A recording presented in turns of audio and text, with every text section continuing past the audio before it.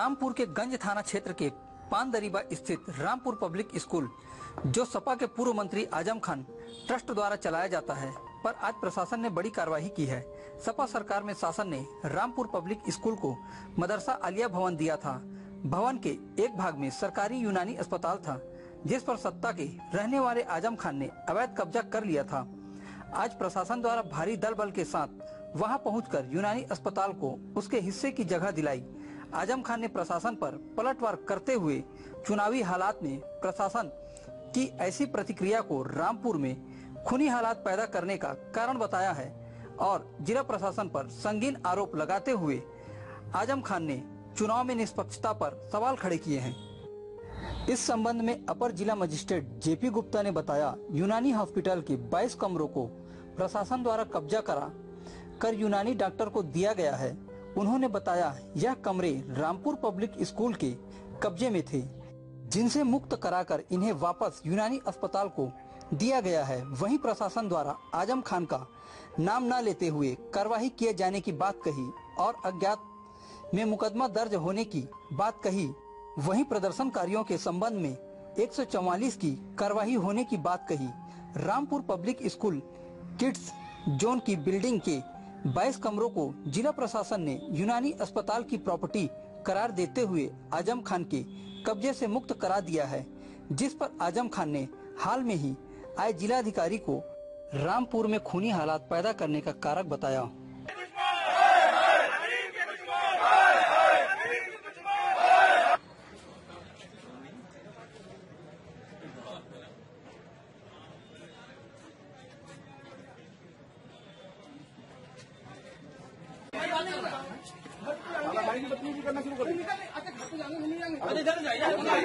जाने दीजिए कहाँ जाने दीजिए। क्यों नहीं जाने देंगे नहीं नहीं आप घर तो जाने देंगे नहीं जाने देंगे बताओ।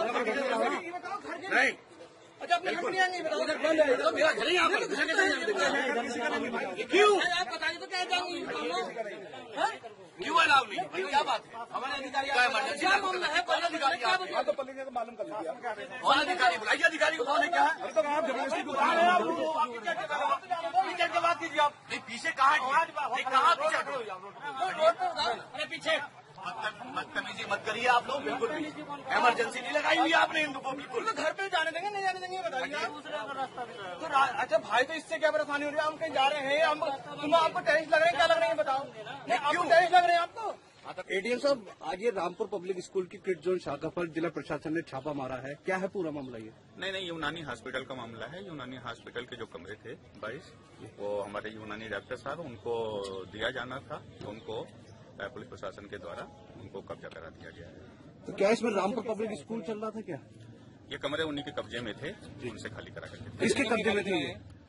इसी रामपुर पब्लिक स्कूल के कब्जे कितने कमरे खाली कराए गए? बाईस कमरे हैं टोटल। तो पूरा खाली करा दिया गया? हाँ वो जो यूनानी हॉस्पिटल का था उसको खाली करा दिया गया। अच्छा रामपुर पब्लिक स्कूल इसमें चलेगा क्या?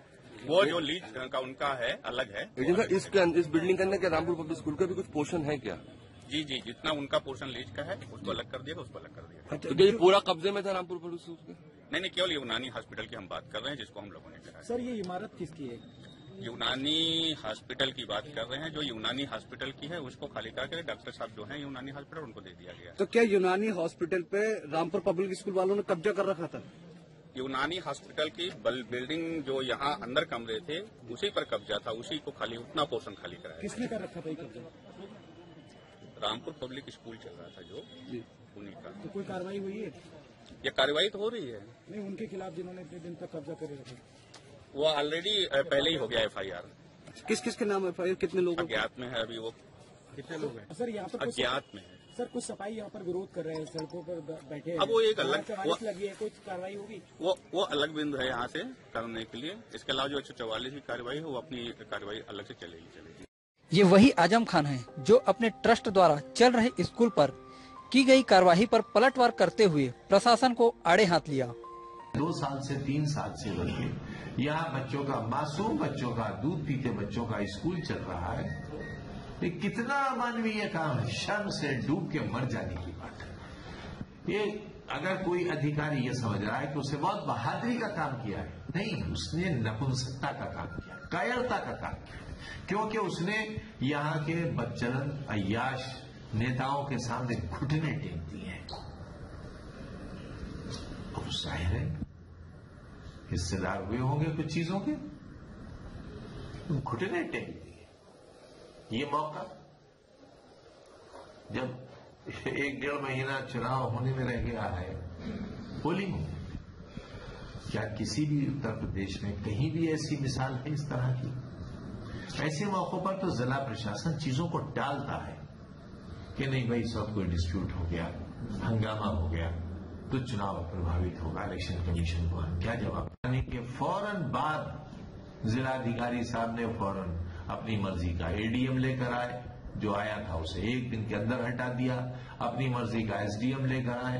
तीन घंटे के अंदर एसडीएम हटा दिया। दो घंटे के अंदर सिटी मजिस्ट्रेट हटा दिया। डीएम एडीएम एसडीएम सदर सिटी मजिस्ट्रेट। और दो दिन के अंदर आकर साहब उन्होंने तहलका मचा दिया। स्कूल चल रहा था सर उस दौरान जब ये प्रशासन स्कूल बच्चों का स्कूल लगा सबको निकाल के मार।